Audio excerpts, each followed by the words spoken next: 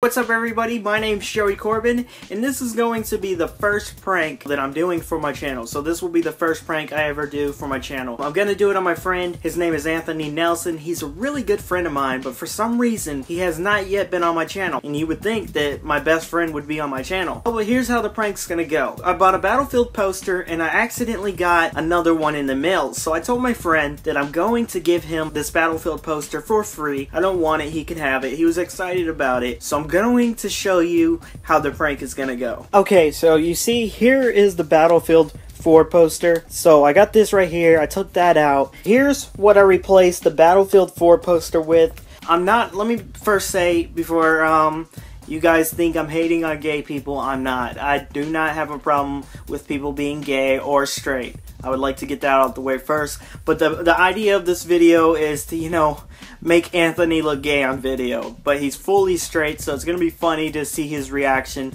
So let's see how this turns out, and hopefully it turns out awesome. Hey, you guys. I'm such a great friend. And I'm going to prove it today in this video. Now, my friend Anthony, show him down here. So, he, he wanted a poster. Now, I usually don't buy things like this. But since he wanted it bad enough, I bought it for him.